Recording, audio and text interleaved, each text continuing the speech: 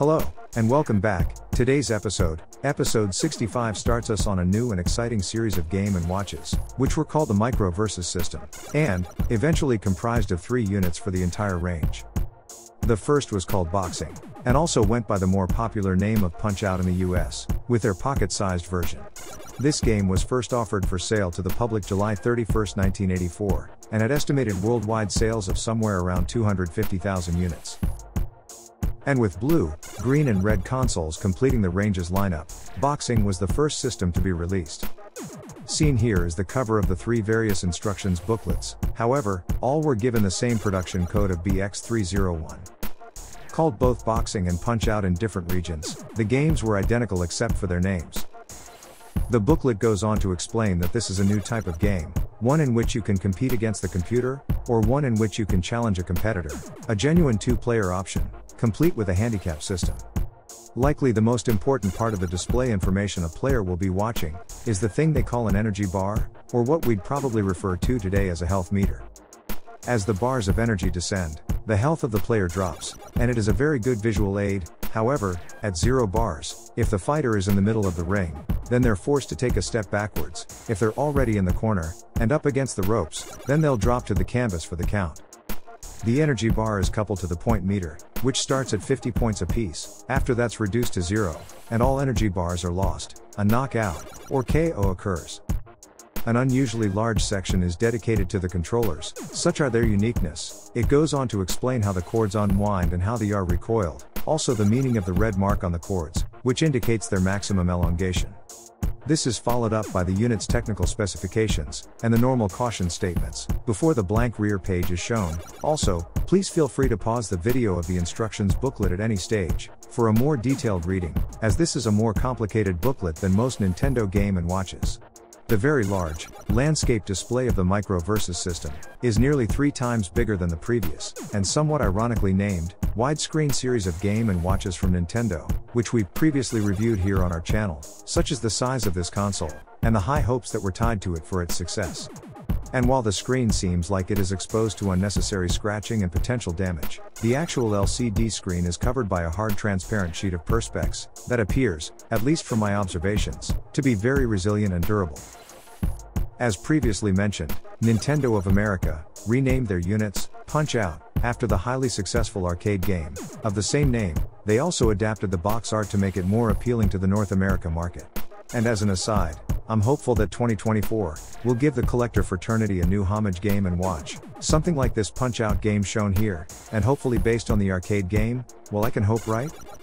And back with the Micro Versus system, the battery cover is definitely unique. 2 LR44 batteries are inserted sideways. This is a new take on the previous simple plate that all game and watches used.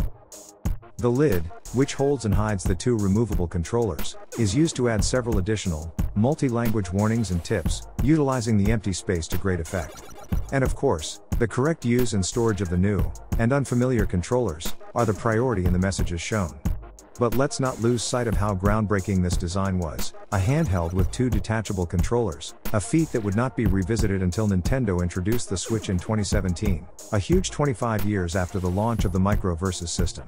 And while the Switch, with all its bells and whistles, is clearly so much more, the design's cues and the shared basic concept similarities, is, in my opinion, unmistakable, much like the multi screen series clearly led to the much later DS design. Surprisingly, the Punch Out franchise was thought to be a non starter for Japan, leaving the arcade and Nintendo Entertainment System to carry the very popular brand. However, following a gaming tournament, this decision was reversed.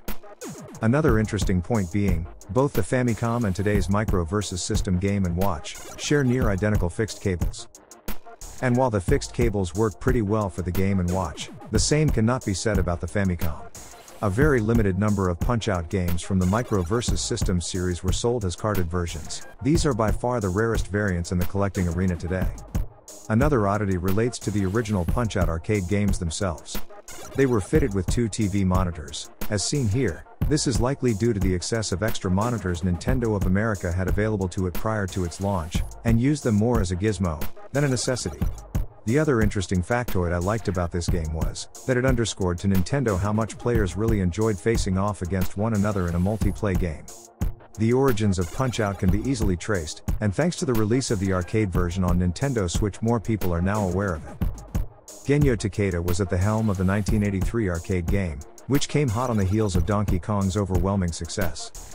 And as previously noted, it made use of two screens, which we believe could be a spiritual precursor to the Nintendo DS, but this one was a bit of a necessity. You see, after Donkey Kong, Nintendo had too many screens, so they made a game to use two of them in one machine. It's also been established that Nintendo had signed up a whole bunch of boxers, included at that group was Mike Tyson, but before he gotten to become heavyweight champion, so, it was a no-brainer for him to lead the franchise once he achieved fame. So let's head back over to the star and focus of our show, and see some representative gameplay. As we join round 1, we see its game mode A, the single player option. The player on the left of the screen is the computer, it has only 2 energy bars, versus the player on the right who has 5. Both these values are shown in the yellow section of the screen. The pink section in the middle originally started out as 50 points each, but since then, every hit received, every step backwards, and every fall, has cost each fighter more points, and for clarity, the higher the points the better. The player to our right is clearly ahead of the computer at this stage, however, the computer is programmed to adapt to the player's skill level. With the computer player on the left hand side, having been knocked down to the canvas twice, but as of yet he's not been knocked out, so the fight resumes in the center of the ring, with his points down to about half what he started with. And the bell rings to end round 1. The score is 18 to 47 in favor of the player on the right hand side. Let's see what round 2 will bring. The computer dodges the first few punches, but soon he begins to drop his guard and is once again on the defensive.